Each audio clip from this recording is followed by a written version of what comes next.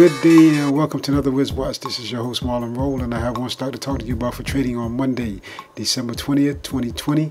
And that stock is Sunworks Incorporated, and which trades on the NASDAQ Composite Index under stock symbol SUNW. Sunworks Incorporated is a Roseville, California headquartered company.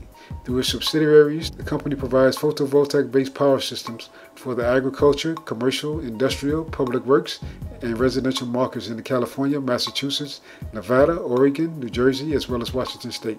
The company also designs, finances, integrates, installs, and manages systems ranging in size from 2 kilowatt for residential power loads to multi-megawatt systems for larger projects. In addition, it offers a range of installation services including design, system engineering, procurement, permitting, construction, grid connection, warranty, system monitoring, and maintenance services to its large solar energy customers.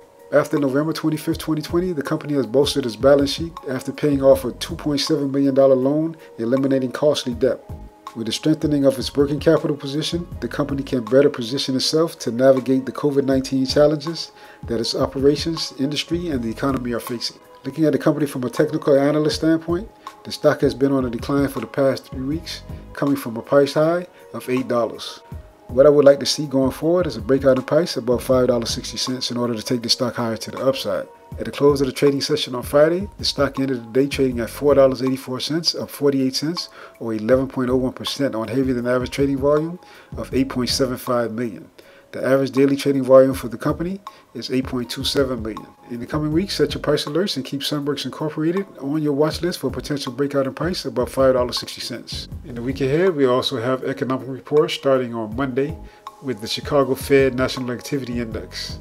Tuesday, gross domestic product, consumer confidence, as well as existing home sales. Wednesday, personal income, consumer spending, core inflation, new home sales, as well as the Consumer Sentiment Index for December.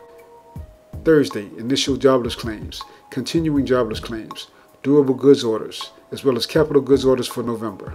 And there will be no economic reports on Friday due to the Christmas holiday, but we also have earnings during the week coming from companies such as China Finance Online, Paychex, Vince Holding Corp, HEICO Corp, Calavo Growers, CBDMD, Cintas Corp, as well as CarMax, just to name a few. Thank you for listening, and remember, the stocks that I mentioned are not buy recommendations, so please do your own due diligence or get help from a professional before trading.